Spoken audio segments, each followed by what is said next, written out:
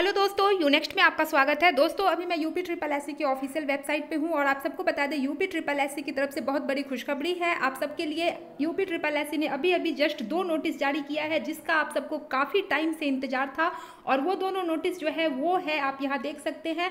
इनका एक तो एग्ज़ाम कैलेंडर है और दूसरा जो है, उन्होंने जारी किया है, उसमें है मार्च दो हज़ार बाईस तक। जो भी एग्ज़ाम्स होंगे विथ पोस्ट इन्होंने सारे एग्ज़ाम्स की डिटेल निकाली है। तो जितने भी एग्ज़ाम्स जितनी भी वैकेंसी जाएगी और उसमें कितने पोस्ट होंगे, ये सब कुछ इन्होंने डिटेल में दिया है। तो सबसे पहले तो चलिए हम लोग देख लेते हैं जो पहला नोटिस है, वाला ये जो नोटिस है ये रिज़ल्ट के लिए जो कैलेंडर है इनका माह अगस्त और सितंबर में जितने रिज़ल्ट घोषित किए जाएँगे उसके बारे में यहाँ डिटेल दिया हुआ है। तो आप लोग सब जा करके इसको अगर आप लोगों ने डाउनलोड नहीं किया है तो आप लोग मेरे टेलीग्राम चैनल पर जाइए वहाँ पर दोनों नोटिस मैं डाल दूँगी आप लोग जा करके यहाँ पर देख सकते हैं।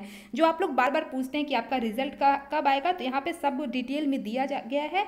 आप यहाँ देख सकते हैं होम्योपैथी वाले का जो है अभिलेख परीक्षण हेतु परिणाम माह जुलाई में घोषित किया गया आ, किया जाना प्रस्तावित अभिलेख परीक्षण माह अगस्त 2021 तदुपरांत अंतिम परिणाम माह सितंबर में घोषित किया जाना प्रस्तावित है।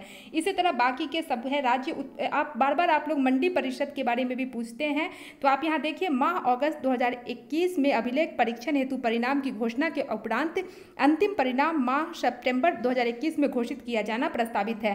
तो आप सब अभ्यर्थी जो है, इस नोटिस को जाकर के मेरे टेलीग्राम चैनल पे देख सकते हैं कि आपका रिज़ल्ट कब आएगा। अब चलिए हम लोग अगला इंपॉर्टेंट नोटिस देखते हैं, जिस ये जो आप दूसरा नोटिस है, ये इसमें सारे एग्ज़ाम्स के बारे में दिया हुआ है। तो सबसे पहले जो एग्ज़ाम्स है, वो आप यहाँ पर देख सकते हैं। जो पहले की वैकेंसी आई है, उसका भी ज़िक्र यहाँ पे किया गया है। तो आप ये देख सकते हैं, सबसे पहले तो यहाँ पे प्रारंभिक जो आपका पीईटी एग्ज़ाम जो होना है, वो 20 अगस्त को होगा।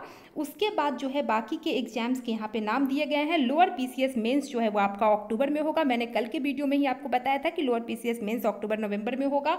उसके बाद जो बाकी के एग्ज़ाम्स होने हैं, वो सारे सेप्टेम्बर और अक्टूबर में ही हो जाएँगे।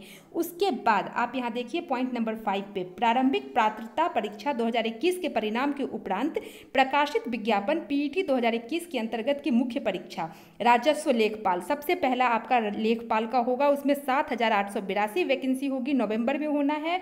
प्रारंभिक परीक्षा 2021 के परिणाम के उपरांत पीईटी 2021 के अंतर्गत की मुख्य परीक्षा स्वास्थ्य कार्यकर्ता व समान योग्यता वाले अन्य पद 9000 से भी ज़्यादा वैकेंसीज है।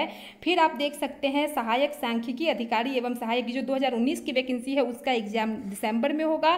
फिर आप यहाँ वन रक्षक वाला एग्ज़ाम दिसंबर में होगा। सहायक बोरिंग टेक्नीशियन का जनवरी दो हज़ार बाईस सम्मिलित अवर अभियंता एग्ज़ाम जो है आपका जनवरी। उसके बाद आप यहाँ पर देख सकते हैं AGTA और केन सुपरवाइजर की लगभग पच्चीस वैकेंसी है, जिसका कि मेन्स एग्ज़ाम आपका फेबररी में होगा।